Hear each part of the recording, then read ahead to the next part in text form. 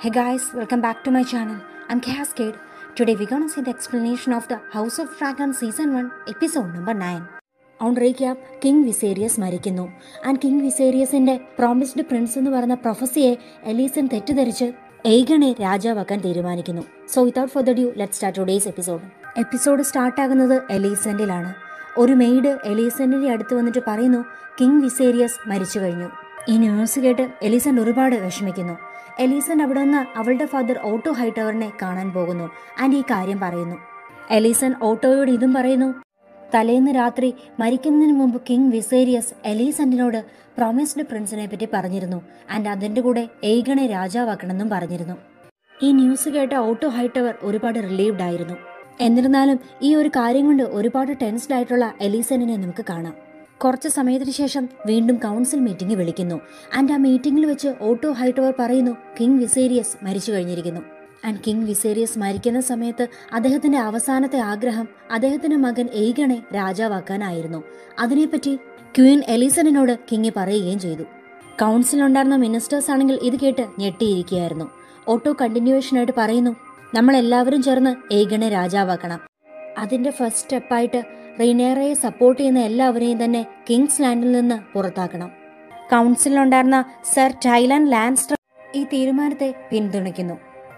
But master of coin മറ്റൊരു ലോർഡായിട്ടുള്ള Lyman ബീസ്ബറി ഇതിനെ object ചെയ്യുന്നു. ഓൾറെഡി കിങ് അദ്ദേഹത്തിന്റെ ഹെയറായി റിനേറെ പ്രൊക്ലെയിം ചെയ്തിട്ടുണ്ടെന്നും കിങ്ങിന്റെ ഡെത്തിന്റെ സമയത്ത് എലീസന്റ് മാത്രമേ ആ റൂമിൽ ഉണ്ടായിരുന്നുള്ളൂ എന്നും പോയിന്റ് ഔട്ട് ചെയ്യുന്നു. മാത്രമല്ല തലേദിവസം രാത്രി വരെ മരിക്കുന്ന രീതിയിൽ കിങ് വിസേറിയസിന്റെ ഹെൽത്ത് മോശമായിട്ടില്ലായിരുന്നു. ഒറ്റ രാത്രി കൊണ്ട് എങ്ങനെയാണ് ഇത്രയും ഫാസ്റ്റ് ആയിട്ട് കിങ്ങിന്റെ ഡെത്ത് സംഭവിച്ചതെന്നും ചോദിക്കുന്നു. ഇൻഡയറക്ട്ലി എലീസണിനെ കിങ്ങിന്റെ മരണത്തിനുള്ള ഉത്തരവാദിയായി അക്യൂസ് ചെയ്യുകയായിരുന്നു. ഈ സമയം അവിടെ ഉണ്ടായിരുന്ന ക്രിസ്ത്യൻ കോൾ ലോർഡിന്റെ അടുത്തേക്ക് വന്ന് അദ്ദേഹത്തെ കൊന്നു കളയുന്നു. അവിടെ ഉണ്ടായിരുന്ന സർ ഹാറോൾഡ് ഇതിനെപ്പറ്റി ക്രിസ്ത്യനോട് ചോദിക്കുന്നുണ്ടെങ്കിലും ക്രിസ്ത്യന്റെ ജോലി എലീസന്റിനെ സെർവ് ചെയ്യുകയാണെന്ന് പറഞ്ഞ് ക്രിസ്ത്യൻ ഊരുന്നു. എലീസന്റ് ഈ സമയം ക്രിസ്റ്റിനോടും സർ ഹാറോൾഡിനോടും അടങ്ങിയിരിക്കാനും കാം ഡൗൺ ആകാനും പറയുന്നു. അതിനുശേഷം റിനേറയെ എന്ത് ചെയ്യുമെന്ന് ഓട്ടോയോട് ചോദിക്കുന്നു. ഈ സമയം ഓട്ടോ ഹൈട്ടവർ ആൻസർ ചെയ്യുന്നു എയ്ഗനെ രാജാവാക്കി കഴിഞ്ഞ റിനേറ ഒരിക്കലും മിണ്ടാതിരിക്കാൻ പോകുന്നില്ല. അവൾ അവളുടെ അധികാരം പിടിച്ചെടുക്കാൻ നോക്കും. ഈ സമയം നമുക്ക് എലീസന്റിനെ കാണാം. അവൾക്ക് തോന്നുന്നുണ്ടായിരുന്നു റിനേറയെ വഴിയിൽ നിന്ന് മാറ്റാൻ വേണ്ടി ചിലപ്പോൾ ഓട്ടോ അവളെ കൊന്നുകളയുമെന്ന്. ആൻഡ് ഇത് മാത്രമല്ല റിനേറയും ഡെയ്മനും ഒരിക്കലും ഇത് കയ്യും കെട്ടി നോക്കി നിൽക്കാനും പോകുന്നില്ല.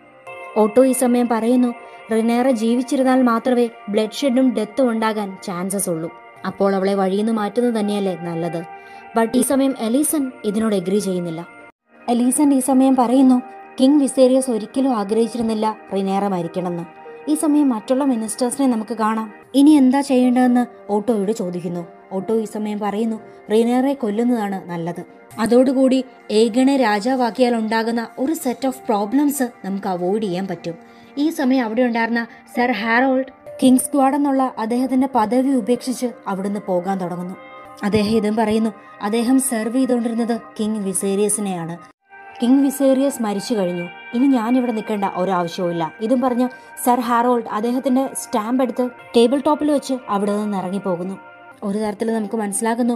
ഇൻഡയറക്ട്ലി റിനേറയ്ക്ക് എഗനസ്റ്റ് ആയിട്ട് അവിടെ നടക്കുന്ന കോൺസ്പ്രസിൽ ടേക്ക് പാർട്ട് ചെയ്യാൻ വേണ്ടി അദ്ദേഹത്തിന് ഒരു താല്പര്യമില്ലായിരുന്നു കൗൺസിൽ മീറ്റിംഗിന് ശേഷം ഓട്ടോ ഹൈട്ടവർ എയ്ഗന്റെ ഗാർഡ് സർ ആരിക്കിനെ ചെന്ന് കാണുന്നു.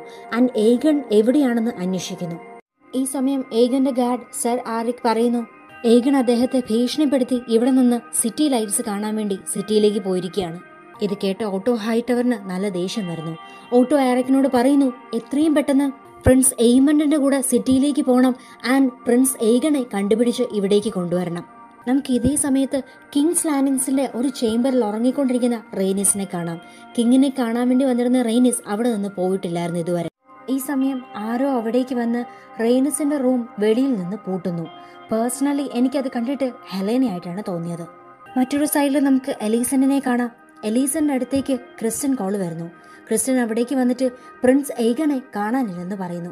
ഇത് കേട്ട് എലീസന്റെ വല്ലാതെയാകുന്നു. അവൾ ക്രിസ്റ്റ്യനോട് സിറ്റിയിലേക്ക് പോയി ഏഗനെ അന്വേഷിച്ച് കണ്ടുപിടിച്ച് കൂട്ടിക്കൊണ്ടുവരാൻ വേണ്ടി പറയുന്നു. ഈ സമയം അവിടെ ഉണ്ടായിരുന്ന പ്രിൻസ് എയ്മണ്ടിനെ നമുക്ക് കാണാം. എയ്മണ്ട് എലീസന്റിനോട് പറയുന്നു ക്രിസ്റ്റ്യന്റെ കൂടെ അവനും സിറ്റിയിലേക്ക് പോകും ആൻഡ് ഏഗനെ കണ്ടുപിടിച്ചോണ്ട് വരും. Because right this moment Aegon എവിടേക്കാണ് പോയതെന്ന് എനിക്ക് മാത്രമേ അറിയൂ. എലീസൺ ഇതിന് എഗ്രീം ചെയ്യുന്നു. നമുക്ക് ഈ സമയം കാണാം. ക്രിസ്റ്റനും എയ്മണ്ണും കൂടെ എയ്ഗണെ അന്വേഷിച്ച് സിറ്റിയിലേക്ക് പോകുന്നു. അവർ സിറ്റിയിൽ ചെന്നിട്ട് ഒരു പ്രോസ്റ്റിറ്റ്യൂട്ടിന്റെ അടുത്ത് ചെല്ലുന്നു. ആൻഡ് എയ്ഗണെ പറ്റി അന്വേഷിക്കുന്നു. ആ പർട്ടിക്കുലർ പ്രോസ്റ്റിറ്റ്യൂട്ട് പറയുന്നു കഴിഞ്ഞ ഒരു വർഷമായിട്ട് ഏഗൺ ഇവിടേക്ക് വന്നിട്ടില്ല. അവന്റെ ടേസ്റ്റ് ഡിഫറെന്റ് ആയിട്ടുണ്ടായിരിക്കും. അതിനുശേഷം ടൗണിന്റെ പല ഭാഗത്തും ഏകിനെ അന്വേഷിക്കുന്ന ക്രിസ്ത്യൻ കോളനിയെയും എയ്മണ്ടിനെയും നമുക്ക് കാണാം. അവിടുന്ന് കട്ടായി നമുക്ക് ക്യാസ്റ്റലിലെ ഒരു സീൻ കാണാം. അവിടെ ഓട്ടോ ഹൈട്ടവർ ലോർഡ്സിനെ മുഴുവൻ അവിടേക്ക് വിളിച്ചിട്ട് കിങ് വിസേരിയസിന്റെ പ്രൊമിസ്ഡ് പ്രിൻസ് എന്ന് പറയുന്ന ഡ്രീമിനെ പറ്റിയും കിങ്ങിന്റെ അവസാനത്തെ ആഗ്രഹം പ്രിൻസ് ഏകണെ രാജാവാക്കാനാണെന്നും പറയുന്നു. അവിടേക്ക് വന്നിരുന്ന എല്ലാ ലോർഡ്സിനും ഇത് ഓക്കെ ആയിട്ടുള്ള കാര്യമല്ലായിരുന്നു. അവർ പറയുന്നു കിങ് വിസേരിയസ് നേരത്തെ തന്നെ അദ്ദേഹത്തിന്റെ ഹെയറിനെ പ്രൊക്ലെയിം ചെയ്തിരുന്നു. അത് റിനേറയാണ് ഒരു തരത്തിൽ അവിടെ വന്നിട്ടുണ്ടായിരുന്ന ലോർഡ്സ് എല്ലാവരും രണ്ടായിട്ട് സ്പ്ലിറ്റപ്പ് ആകുന്നു. ഒരു ടീം ഏകണെ സപ്പോർട്ട് ചെയ്യുന്നവരും മറ്റൊരു ടീം റിനേറെ സപ്പോർട്ട് ചെയ്യുന്നവരും ഓട്ടോ ഹൈട്ടവർ ഈ സമയം അവരുടെ എല്ലാം അടുത്തേക്ക് വന്നിട്ട് റിനേറയെ സപ്പോർട്ട് ചെയ്യുന്ന ലോർഡ്സിനെ നോക്കി ചോദിക്കുന്നു നിങ്ങളുടെ അവസാനത്തെ ആഗ്രഹം എന്താണ്?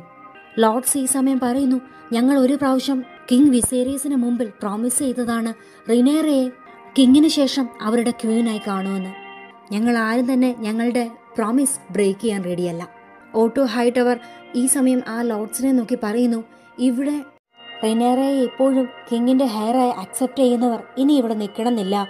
ഇതിന് പുറകിലായി ഒരു റൂമുണ്ട് അവിടേക്ക് പൊക്കോളൂ. അവിടെ ചെന്ന് അവരെ എല്ലാം കൊല്ലാൻ തുടങ്ങുന്നു.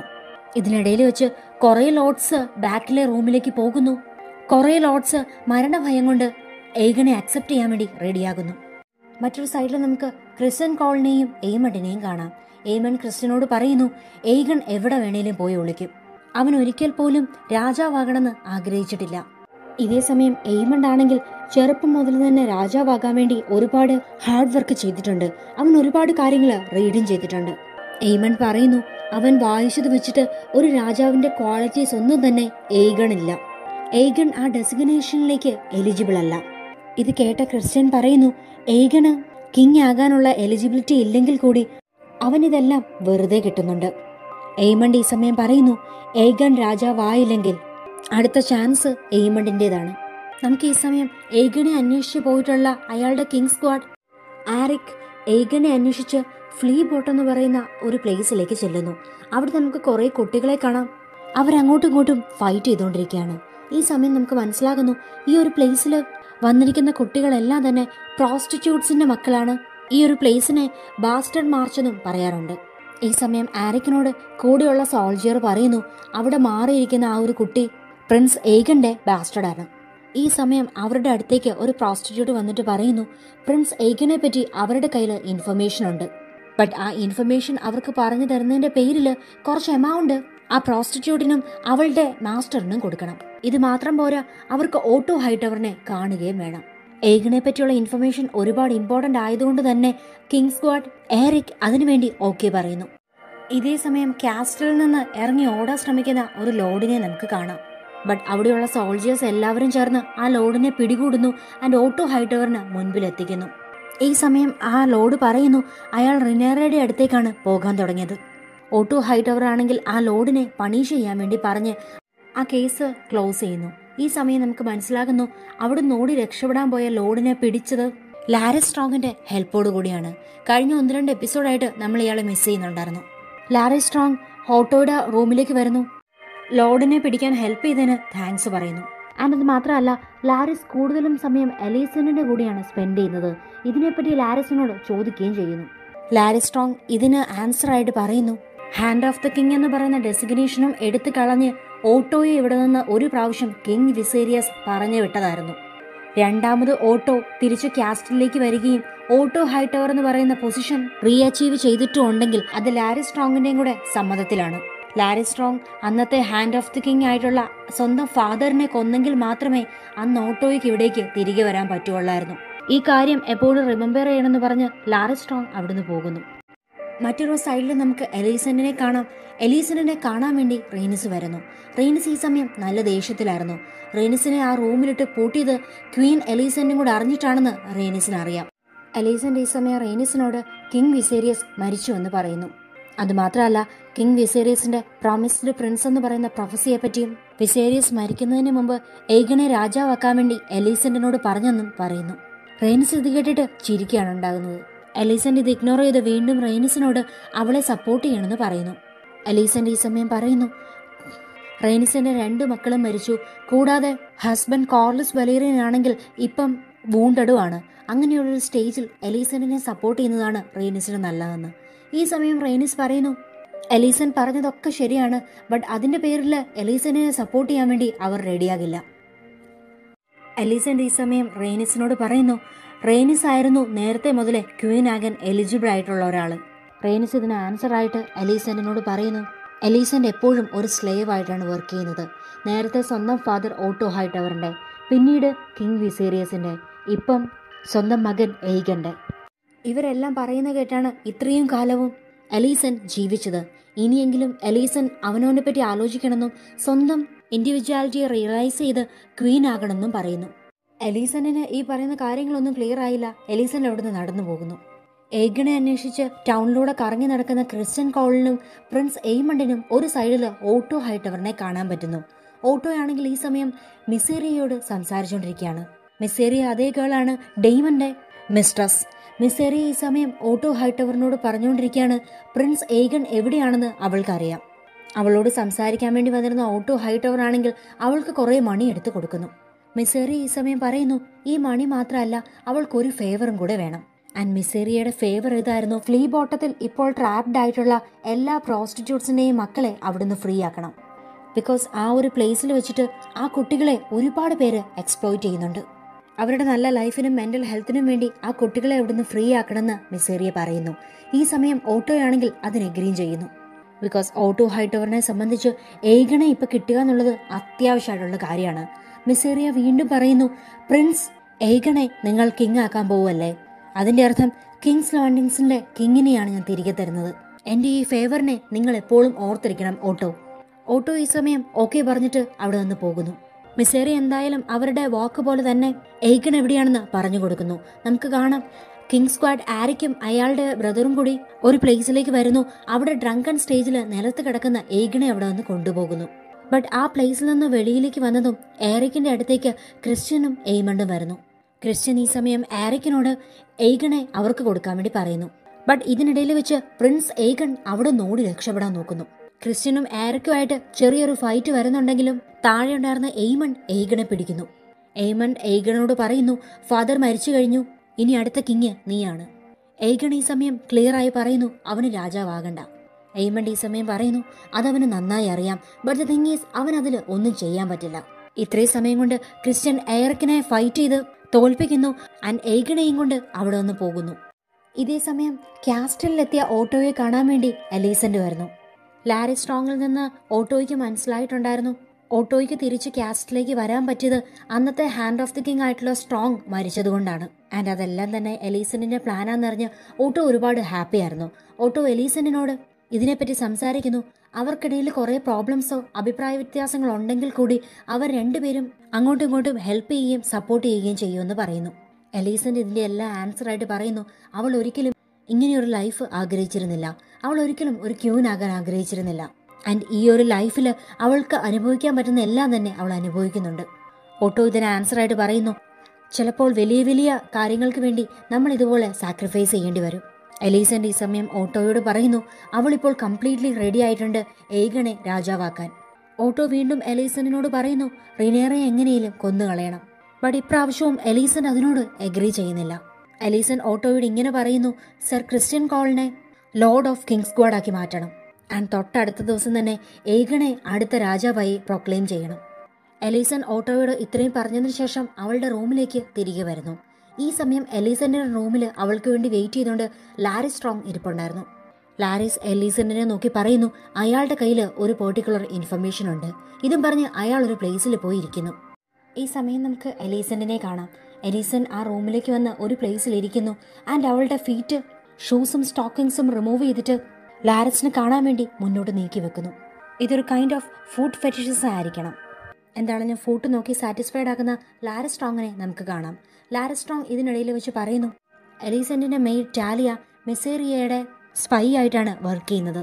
ആൻഡ് മിസേറിയ ക്യാസ്റ്റിലുള്ള ന്യൂസ് അറിയുന്നത് മൊത്തം എലീസന്റിന്റെ ആ ഒരു മെയ്ഡ് ടാലിയയിൽ നിന്നാണ്. ലാരിസ് ഇതും പറയുന്നു ചിലപ്പോൾ ഈ ഒരു നെറ്റ്വർക്കിൽ നിന്റെ ഫാദർ ഓട്ടോ ഹൈടവറും ഒരു പാർട്ടായിരിക്കും. സിംപ്ലി പറഞ്ഞ മിസേറിയ വർക്ക് ചെയ്യുന്നത് ഓട്ടോ ഹൈടവറിന് വേണ്ടി തന്നെയായിരിക്കും. ലാരിസ് ഇതും പറയുന്നു ഈ ഇൻഫർമേഷനിൽ കൺഫർമേഷൻ ഇല്ല ജസ്റ്റ് ഇതൊരു ഡൗട്ട് മാത്രമാണ് മറ്റൊരു സൈഡിൽ നമുക്ക് സർ ആരക്കിനെ കാണാം. ആരക് നേരെ റെയ്നസിന്റെ റൂമിലേക്ക് വരുന്നു. ആൻഡ് റെയ്നസിനോട് എത്രയും പെട്ടെന്ന് അവിടുന്ന് പോകണമെന്ന് പറയുന്നു. റെയ്നസ് പോകുന്ന വഴി അവിടെ കെട്ടി തൂക്കിയിട്ടിരുന്ന ഒരു ലോഡിന്റെ ഡെഡ് ബോഡി കാണുന്നു. ഇത് അതേ ലോഡാണ്. റിനേറെ ഈ ന്യൂസ് എല്ലാം അറിയിക്കാൻ വേണ്ടി ക്യാസ്റ്റിൽ നിന്ന് ഇറങ്ങി ഓടാൻ ശ്രമിച്ച ലോഡ്. സർ ആരിക് വളരെ സേഫായിട്ട് റെയ്നിസിനെ ക്യാസ്റ്റലിന് വെളിയിലേക്ക് കൊണ്ടുവരുന്നു. ഈ സമയം റെയ്നിസ് പറയുന്നു അവർക്ക് അവരുടെ ഡ്രാഗൺ ഇല്ലാതെ അവിടുന്ന് പോകാൻ പറ്റില്ല. സർ ആരിക് ഈ സമയം എത്രയും പെട്ടെന്ന് കിങ്സ് ലാൻഡിങ്സിന് വെളിയിലേക്ക് പോകണമെന്ന് പറയുന്നുണ്ടെങ്കിലും ഡ്രാഗൺ ഇല്ലാതെ പോകാൻ റെയ്നിസ് റെഡിയാകുന്നില്ല മറ്റൊരു സൈഡിൽ നമുക്ക് ടൗണിനുള്ളിൽ ഒരു വീട് കത്തുന്നതായിട്ടും അതിനുള്ളിൽ നിന്ന് ഒരു മനുഷ്യൻ കാമായി ഇറങ്ങി പോകുന്നതായിട്ടും കാണാം. എന്തായാലും റെയ്നിസിനെയും കൊണ്ട് ടൗണിലൂടെ പൊക്കോണ്ടിരിക്കുന്ന സർ ആരിക്കിനെ നമുക്ക് കാണാം. എങ്ങനെയെങ്കിലും റെയ്നിസിനെ ടൗണിന് വെളിയിലേക്ക് കൊണ്ടുപോകാൻ വേണ്ടിയാണ് ആരിക് നോക്കുന്നത്. ബട്ട് പോകുന്നതിനിടയിൽ വെച്ച് കുറേ ആൾക്കാർക്കിടയിൽ അവർ പെട്ടുപോകുന്നു ആൻഡ് അവർ രണ്ടുപേരും സ്പ്ലിറ്റപ്പ് ആകുന്നു. റെയ്നിസ് ആൾക്കാരുടെ ഇടയിൽപ്പെട്ട് എവിടേക്കോ നീങ്ങി നീങ്ങി പോകാൻ തുടങ്ങുന്നു. മറ്റൊരു സൈഡിൽ ഹാരൻ ഹാളിലേക്ക് പോകുന്ന ഏഗണെയും എലീസണിനെയും നമുക്ക് കാണാം. എലീസന്റെ ഈ സമയം ഏഗനോട് ചോദിക്കുന്നു ഏഗൺ നീ ഇന്ന് കിങ് ആകാൻ പോവുകയാണ്. ഇന്ന് നീ എന്താ ചെയ്യേണ്ടതെന്ന് നിനക്കറിയാവല്ലോ? ഏഗൺ ഈ സമയം പറയുന്നു എന്റെ ഫാദർ കിങ് വിസേരിയസ് എപ്പോഴും എന്നെ വേർത്തിരുന്നു അദ്ദേഹം ഒരിക്കലും ആഗ്രഹിച്ചിരുന്നില്ല ഞാൻ രാജാവാകണമെന്ന്. എലീസൺ ഈ സമയം പറയുന്നു കിങ് വിസേരിയസ് മരിക്കുന്നതിന് മുമ്പ് എന്നോട് പറഞ്ഞത് നിന്നെ രാജാവാക്കണം എന്നാണ് ഇത് കേട്ട് ഏഗൺ ചിരിക്കുകയാണ് ഉണ്ടാകുന്നത്. എലീസൺ വീണ്ടും പറയുന്നു നീ എന്നെ വിശ്വസിച്ചേ പറ്റൂ. കിങ് മരിക്കുന്നതിന് രണ്ടു മൂന്ന് സെക്കൻഡ്സിന് മുമ്പ് എന്നോട് കിങ് പറഞ്ഞത് നിന്നെ രാജാവാക്കണം എന്നാണ്. ഇത് മാത്രമല്ല കിങ് വിസേരീസിന്റെ കയ്യിലുണ്ടായിരുന്ന ട്രഡീഷണൽ ടെർഗാറിയൻ ഡാഗർ എടുത്ത് ഏഗണെ കാണിക്കുന്നു. ഏഗൺ ഈ സമയം ആ ഡാഗർ വാങ്ങി അത് നോക്കിക്കൊണ്ടിരിക്കുകയാണ്. എലീസന്റ് ഏഗണെ നോക്കി പറയുന്നു ഇതുവരെയുള്ള എല്ലാ കാര്യവും ഓക്കെയാണ് ബട്ട് ഇതിനുശേഷം ഓട്ടോ ഹൈട്ടവർ എങ്ങനെയെങ്കിലും റിനേറയെ കൊന്നുകളയാൻ നോക്കും. അത് മാത്രമല്ല ഇന്ന് എല്ലാവരുടെയും മുൻപിൽ വെച്ച് റിനേറെ കൊല്ലണമെന്ന് പറയുകയും ചെയ്യും. ആൻഡ് ഏകൺ നീ കിങ് ആയി കഴിഞ്ഞാൽ നീ പറയുന്നതിനപ്പുറം ആരും പോകാൻ പോകുന്നില്ല. റിനേറെ കൊല്ലരുതെന്ന് നീ പറയണം. ഓട്ടോ ഹൈറ്റവർ പറയുന്ന ഈ ഒരു സജഷൻ നീ ഡിനൈ ചെയ്യണം. ഇതേ സമയം നമുക്ക് ഏകണെ കാണാം. അവൻ ഇപ്പോഴും ടർഗാരിയൻസിന്റെ ആ ഡാഗർ നോക്കിക്കൊണ്ടിരിക്കുകയാണ്. അവൻ ലിറ്ററലി എലിസന്റെ പറയുന്ന കാര്യങ്ങളൊന്നും കേൾക്കുന്നില്ലായിരുന്നു. ഇതേ സമയം നമുക്ക് ടൗണിലുള്ള ആൾക്കാരെ എല്ലാം കാണാം. അവരെല്ലാവരും തന്നെ ഡ്രാഗൺ പിറ്റിന് അടുത്തേക്ക് പോവുകയാണ്. ഈ സമയം ഒരുപാട് ഹാപ്പി ആയിട്ടുള്ള റെയ്നസിനെ നമുക്ക് കാണാം. റെയ്നസ് എന്തൊക്കെയോ ആലോചിക്കുന്നുണ്ട്. ആൾക്കാരുടെ കൂടെ കൂടുതൽ പ്രമോയൊന്നുമില്ലാതെ ഡ്രാഗൺ പിറ്റിലേക്ക് പോകാൻ തുടങ്ങുന്നു. പിന്നീട് നമുക്ക് ഏകന്റെ ക്രൗൺ മൊമെന്റ് കാണാൻ വേണ്ടി അവിടേക്ക് വന്നിട്ടുള്ള ആൾക്കാരെ കാണാം. അവിടേക്ക് വന്നിട്ടുള്ള എല്ലാവരെയും നോക്കി ഓട്ടോ ഉറക്ക പറയുന്നു കിങ് വിസേരിയസ് മരിച്ചു കഴിഞ്ഞു. ആൻഡ് കിങ് വിസേരിയസ് അദ്ദേഹത്തിന്റെ അവസാനത്തെ ആഗ്രഹമായിട്ട് അദ്ദേഹത്തിന്റെ മകൻ ഏഗണെ രാജാവാക്കണമെന്ന് ഇന്നലെ ക്വീനിനോട് പറഞ്ഞിരുന്നു. ഇത് കേട്ട് അവിടെ കൂടിയിട്ടുള്ള ആൾക്കാരെല്ലാം ഒരുപാട് ഹാപ്പിയാകുന്നു ഈ സമയം കുറെ ഗാർഡ്സിനിടയിൽ നിന്ന് പ്രിൻസ് ഏകൺ മുന്നോട്ട് വരുന്നു. ഏകൺ നടന്നു നടന്ന് എലീസണിനെയും ഓട്ടോയുടെയും അടുത്തേക്ക് വരുന്നു ആൻഡ് പ്രീസ്റ്റിനടുത്ത് ചെന്ന് തലകുനിക്കുന്നു. പ്രീസ്റ്റ് ഈ സമയം ടെർഗാരിയൻ കസ്റ്റംസോട് കൂടി റിച്വൽസ് സ്റ്റാർട്ട് ചെയ്യാൻ വേണ്ടി തുടങ്ങുന്നു. ഇത്രയും സമയം കൊണ്ട് തന്നെ ലോർഡ് കമാൻഡറായിട്ട് ക്രിസ്ത്യൻ കോളിനെ അപ്പോയിന്റ് ചെയ്ത് കഴിഞ്ഞിരുന്നു. ക്രിസ്ത്യൻ മുന്നോട്ട് വന്ന് ഏഗന്റെ തലയിലേക്ക് കിരീടം വെക്കുന്നു. ഈ സമയം കുറച്ച് ഇറിറ്റേറ്റഡ് ആയിട്ട് മാറി നിൽക്കുന്ന പ്രിൻസ് എയ്മണ്ടിനെ നമുക്ക് കാണാം. എയ്മണ്ടിന് ഇപ്പോഴും തോന്നുന്നുണ്ടായിരുന്നു ഏഗൺ കിങ് ആകാൻ വേണ്ടി എലിജിബിൾ അല്ലെന്ന്. എന്തായാലും നമുക്ക് ഏഗണെ കാണാം. ഏഗൺ കിങ് ആയി മാറിയിട്ടുണ്ട്. എല്ലാവരും ഏഗന് മുമ്പിൽ മുട്ടുകുത്തിയിരിക്കുന്നു. അവിടെ എല്ലാവരും ചേർന്ന് കിങ് ആയി ഏഗണെ പ്രൊക്ലെയിം ചെയ്യുന്നു. അവിടേക്ക് വരുമ്പോൾ വലിയ സന്തോഷമൊന്നും ഇല്ലായിരുന്നെങ്കിൽ കൂടി ഇതെല്ലാം കണ്ട് ഏഗൺ ഹാപ്പി ആകാൻ തുടങ്ങുന്നു. അവൻ അവന്റെ സ്വാഡ് വെളിയിലേക്ക് എടുത്തിട്ട് അവന്റെ സ്ട്രെങ്തിനെ സിംബലൈസ് ചെയ്തുകൊണ്ട് അത് എല്ലാവരെയും കാണിക്കുന്നു. എഗൻ കുറച്ച് ഹാപ്പിയായി അവിടെ എല്ലാവരെയും നോക്കിക്കൊണ്ടിരിക്കുന്ന സമയത്ത് ബാക്കിലുള്ള വോളും പൊട്ടിച്ചോണ്ട് റെയ്നിസ് സ്വന്തം ഡ്രാഗന്റെ കൂടെ അവിടേക്ക് വരുന്നു. നമുക്ക് ഈ സമയം റെയ്നിസിനെയും അവരുടെ ഡ്രാഗൺ മേലിസിനെയും കാണാം. പഞ്ച് മോഡിൽ ആ ഹോളിലുള്ളതെല്ലാം നശിപ്പിച്ചുകൊണ്ട് അവിടേക്ക് വരുന്നു. അവിടെയുള്ള ആൾക്കാർ കുറെ പേര് മരിച്ചിട്ടുണ്ട്. കുറെ പേര് ജീവനും കൊണ്ട് അവിടെ നിന്ന് ഇറങ്ങി ഓടുന്നു. റെയ്നിസ് സ്വന്തം ഡ്രാഗന്റെ കൂടെ ഏഗന്റെ അടുത്തേക്ക് മുന്നോട്ട് വരുന്നു. ഇത് കണ്ട് എലീസണിന് തോന്നുന്നു ചിലപ്പം ഏഗണെ കൊല്ലാനായിരിക്കും റെയ്നിസ് അവിടേക്ക് വന്നതെന്ന്. അതുകൊണ്ട് തന്നെ എലീസൺ ഏഗണ് മുന്നിലേക്ക് കയറി നിൽക്കുന്നു. റെയ്നസിന്റെ ഡ്രാഗൺ മേലിസ് ഏഗണെ നോക്കി നല്ല ലൗഡായിട്ട് ഒന്ന് അലറുന്നു. അതിനുശേഷം റെയ്നിസിനെയും കൊണ്ട് അവിടെ നിന്ന് പറന്നു പോകുന്നു. നമുക്ക് കിങ്സ് ലാൻഡിങ്സിൽ നിന്ന് ഡ്രിഫ്റ്റ് മാർക്കിലേക്ക് പറന്നുയർന്ന മേലിസിനെ കാണാം. ആൻഡ് ഇവിടം കൊണ്ട് ഈ എപ്പിസോഡ് എൻഡ് ആകുന്നു. So hopefully let's wait for the finale of house of dragon season one Rhaenyra Kings ലാൻഡിങ്സിൽ നിന്ന് പോയ തക്കം നോക്കി. ഇനി ഷോർട്ട് നോട്ടീസ് ഏകണെ പുതിയ കിങ് ആയി എലീസന്റും ഓട്ടോ ഹൈറ്റവറും പ്രൊക്ലെയിം ചെയ്തു കഴിഞ്ഞു.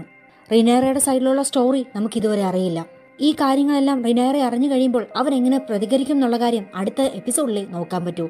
So stay tune with me and will be back to with another episode then watch out and take care and bye